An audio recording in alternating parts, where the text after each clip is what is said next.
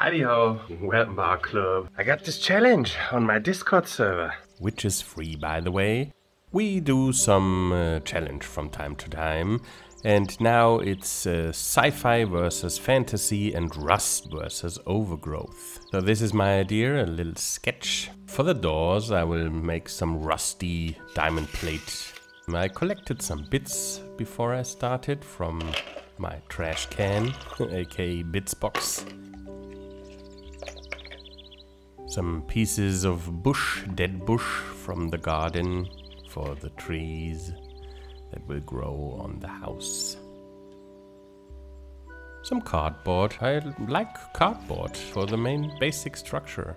Uh, in the bits box, I also had some pre painted, pre textured stones I will use for cornerstones. I had this idea. I build up the corners of the house like a column. And uh, for the glue, I don't take glue. I made a mix of PVA, tile grout, and beige acrylic color. And I use it as mortar, like you would build a real stone wall.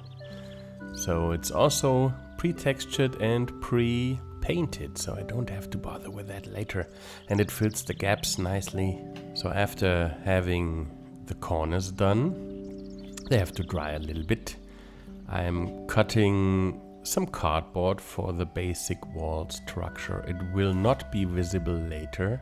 I will put some plaster on top of that. The same mortar mix for texture so this is only a test piece for the challenge to get feel for the look. You can join if you want. The challenge goes until end of September 2022. So we still are in August now when the video drops. You get more than one month. So after the cornerstones were dried, I enforced them with toothpick inside. Um, I'm cutting out those small holes so I can push the cardboard in there and then the cornerstone is a connector of walls.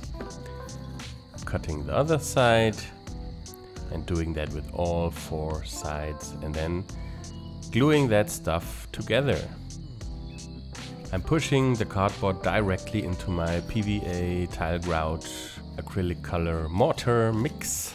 Um, the cool thing is there is so much PVA in that paste that it uh, takes ages to dry and uh, after three or four hours it still was not dry and I could use it as a glue and texture paste and everything else. now I'm uh, covering the sides with that same mortar texture paste.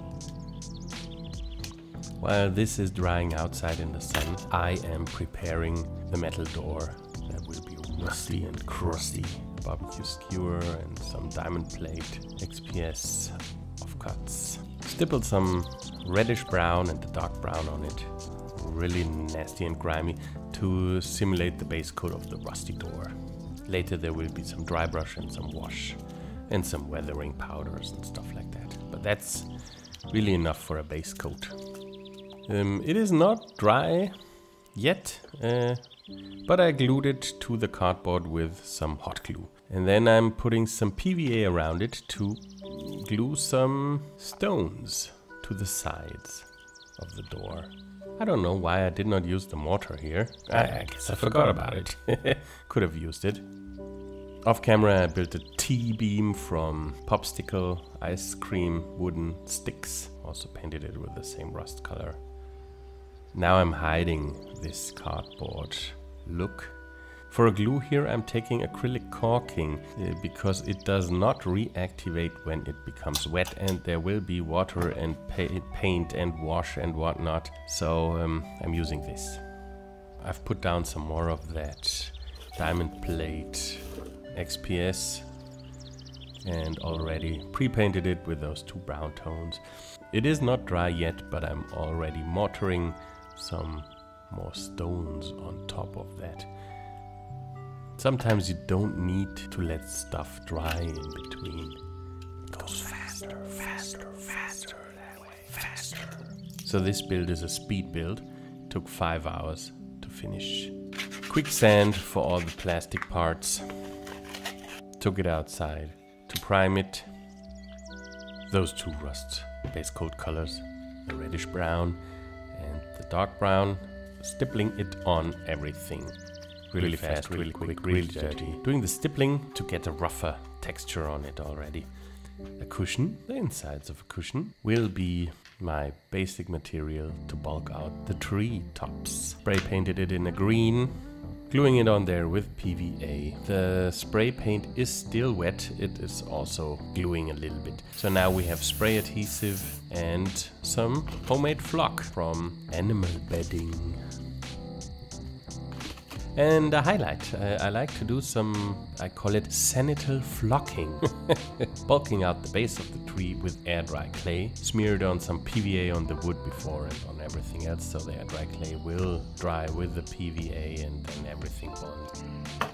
Gluing on the greeblies with acrylic caulking, dusting everything with several kinds of homemade flock. There is a video. Dusting the bottom part of the house with some dark brown pigment powder. I'm using the dry brush for this. It's a makeup brush. And as always, in the end, some more pigment powder.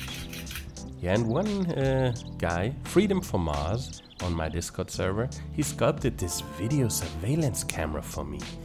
Couldn't find one on the internet. Painted it up real quick, adding it to the build, and now we call it done.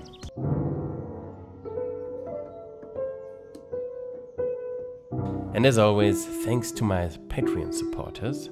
The links are in the description below if you also want to become a supporter of the Weltenbauer Club.